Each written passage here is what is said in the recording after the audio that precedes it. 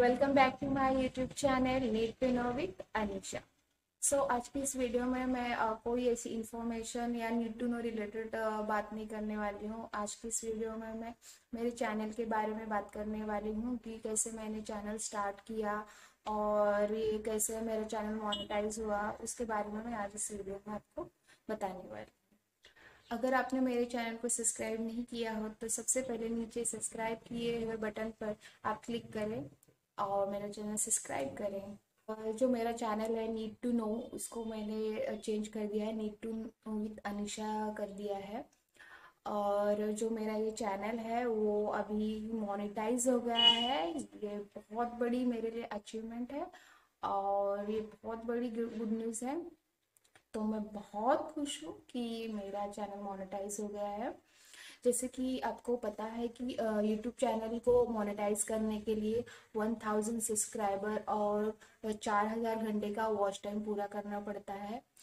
ये बहुत ही मतलब नॉर्मल लोगों के लिए तो ये बहुत ही डिफ़िकल्ट टास्क है।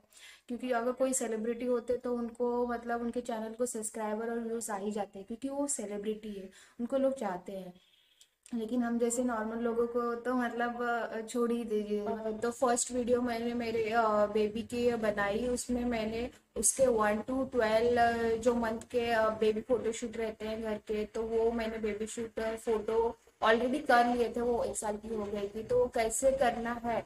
इसका वीडियो मैंने बनाया था तो उस पर मुझे बहुत ही अच्छा रिस्पांस मिला। लोगों ने मतलब बहुत ही पसंद किया कॉन्ग्रेचुलेट किया कि कुछ नया कर रहे हो, कि बेटा वैसा वैसा तो अच्छा लगा तो मैंने सोचा ठीक है, हम कंटिन्यू करेंगे और फिर वहाँ से यूट्यूब की जर्नी स्टार्ट हो गई।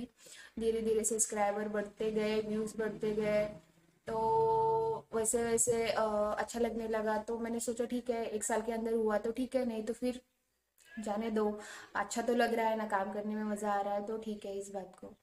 फिर जो उसका क्राइटेरिया था वन थाउज़ेंड सब्सक्राइबर का, वो धीरे धीरे होते होते अभी दिवाली में हुआ। दिवाली में कुछ एक तारीख को एक नवंबर को मेरा चैनल मोनेटाइज के लिए मैंने डाला। उसके पहले मेरे वन थाउज़ेंड सब्सक्राइबर और चार घंटे का जो वॉच आवर होता है वो कंप्लीट हो गया। इसको कंप्लीट करने करने में नियर अबाउट दस महीने तो चले गए।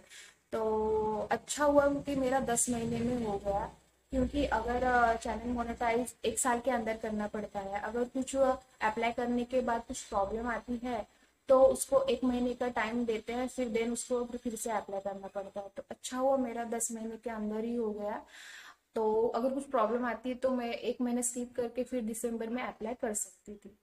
तो मैं बहुत खुश हो गई कि वन थाउज़ेंड सब्सक्राइबर हो गए चार घंटे वॉचर हो गया और देन मैंने मोनेटाइजेशन के लिए अप्लाई कर दिया और दो तीन दिन के बाद uh, मेरा चैनल मोनेटाइज हो गया। तो अभी मेरे वीडियोस पे ऐड आ रही है तो ऐड के थ्रू ही यूट्यूब पे अर्निंग होती है तो अभी मेरे वीडियो पे ऐड आ रहे हैं।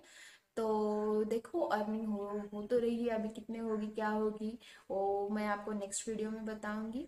लेकिन उनका, उनका जो फ़र्स्ट क्राइटेरिया होता है कि हंड्रेड डॉलर आपको बाय बाय एड थ्रू आपको अर्निंग करनी है तो उसके बाद ही आपको फ़र्स्ट पेमेंट होगा। तो अभी तो वेट करूँगी कि वो कब वन हंड्रेड डॉलर होंगे देन मेरी अर्निंग स्टार्ट होगी। तो ठीक है तो मिलते हैं नेक्स्ट वीडियो में। तो इस वीडियो में मुझे आपको यही बताना था कि मेरा चैनल मोनेटाइज हो गया है और एड टू अर्निंग जल्दी ही मतलब स्टार्ट हो गई है, पैसे जल्दी ही मिलेंगे।